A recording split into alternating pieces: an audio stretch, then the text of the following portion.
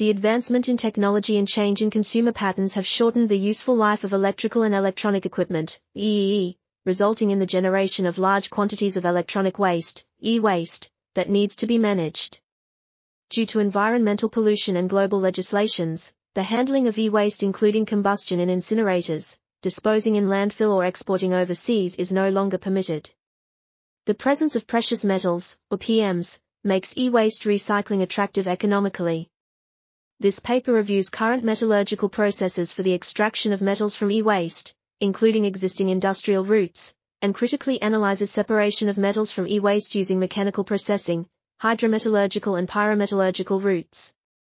Pyrometallurgical routes are comparatively economical and eco-efficient if the hazardous emissions are controlled.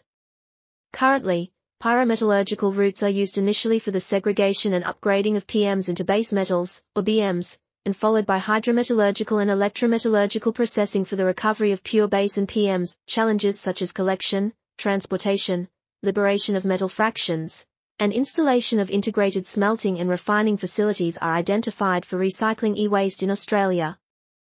This article was authored by Abdul Khaliq, Muhammad Akbar Rhamdhani, Geoffrey Brooks, and others. We are RTCL.TV, links in the description below.